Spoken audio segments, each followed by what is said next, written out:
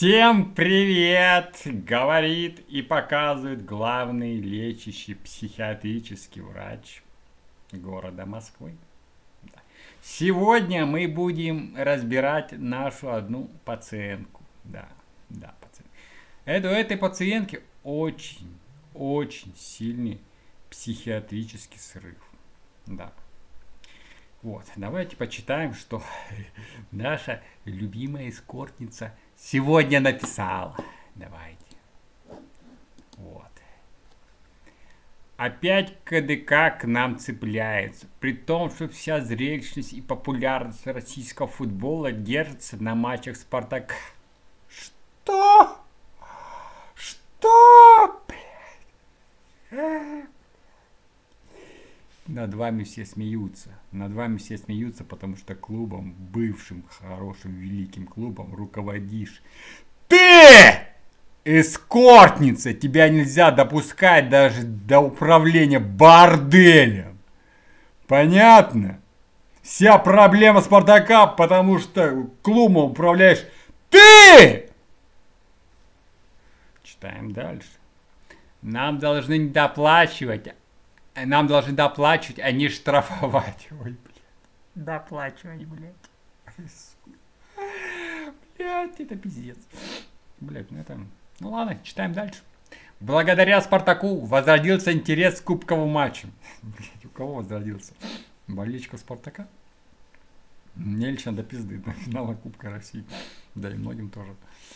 В прошлом году уничтожали ТДСК дисквалификациями, а сейчас взялись за Ваноли. Ой, блядь. Ой, блядь, как же ты заебала ныть уже. Отвяжитесь уже со своими штрафами и наказаниями от тренера и клуба. Сделайте, наконец, что-нибудь конструктивное ради футбола. Ой, ты так много сделала, что аж пиздец, блядь. Мы слишком свободны и непокорны. Ой, ёб твою мать. Ой, непокорные, остальные в кандалах сидят. Свободные и быстроки. Спартак такой свободный и непокорный. А Газпром нас постоянно убивает всем один. Ой.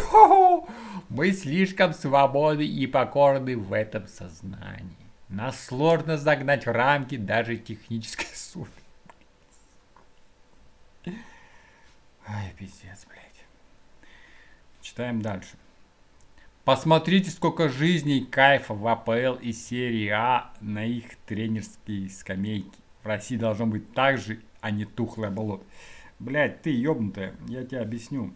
Если ты нихуя не понимаешь, да, если ты понимаешь только в длине члена, да, в там, в длине, просто в длине члена, да, если ты другом не понимаешь ни в чем, да, тебя ставят на должность, потому что ты жена Федуна, да, я тебе объясню, что э, в АПЛ серия А дисквалифицируют тренеров с добрым утром.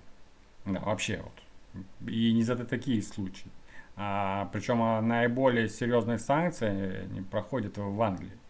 Там просто за неэтичное поведение тебе нахуй, блядь, дисквалификацию могут на 5 матчей въебать, блядь. Вот, это абсолютно нормально. Вот, так что ты не, не верщи то, то, то, чего не знаешь. Вот. В АПЛ и серия А там нормально дисквалифицируют тренеров. Вот. Читаем дальше. Теперь самое главное. На матч с «Зенитом» назначили Иванова Давары. Естественно, блекло-голубые хотят перестраховаться и боятся повторения истории. Чё? Чё, парни? Чё, я, чё, я что-то хуёво прочел, блядь. Блядь, что-то у нас русский. Еще раз прочитаю. Естественно, блекло-голубые хотят перестраховаться и по... боят, боятся повторения истории. Какой истории? Вот этого 7-1, да? Мы боимся повторения истории. Зарем, у тебя, понимаешь, вот сколько насувал Зенит тогда Спартаку, у тебя столько дырок нет. Понимаешь, в чем еще проблема? Вот. Какое повторение истории? Блять, это же пиздец. Читаем еще раз. Естественно, блекло-голубые хотят перестраховаться и повторение истории, когда на глазах всего газпромского руководства не удастся отметить чемпионство.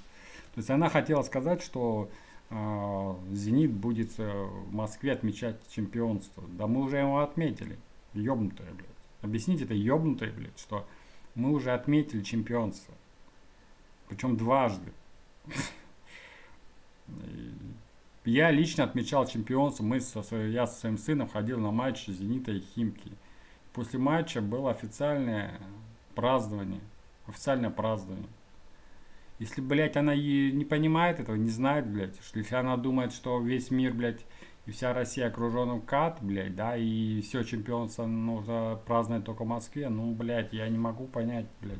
Я даже не знаю, как, как такого диагноза, который ей можно поставить. Вот, ну, блядь, я вообще, знаю, это же какой-то пиздец. Теперь, теперь возвращаемся к главному лечащему врачу. Я, как главный врач, поставлю диагноз. Диагноз. Вот это психиатрически больной.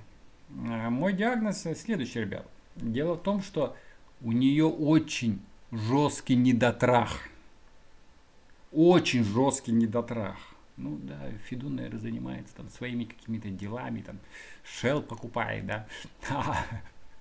Shell покупает, вы представьте, вы только вдумайтесь, он покупает все заводы, предприятия Shell в России, да, а бюджет Спартака будет сокращен в 2-4 раза.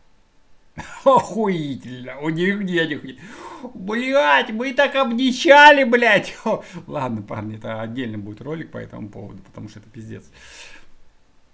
Вернемся к нашей пациентке еще раз. Еще раз повторяю, что на мой взгляд, на мой взгляд, как лечащего врача, э, данное вот психиатрическое заболевание, острая фаза вот этого психического синдрома у Заремы, да, оно вызвано в первую очередь э, жестким недотрахом.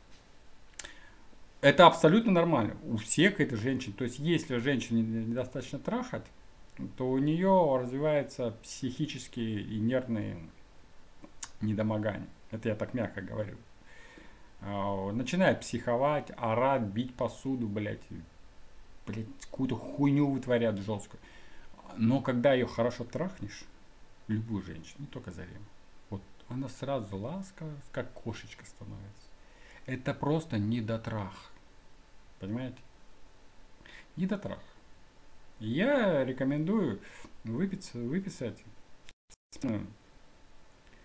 специальный рецепт, где нужно сказать, Зареме проводить, проводить дополнительные занятия в Москве по траханию. Вот, вот, ну, надо вот там с мужиками там за деньги. Вот, вот и все. И это вылечит ее от данного психического синдрома. Всем пока.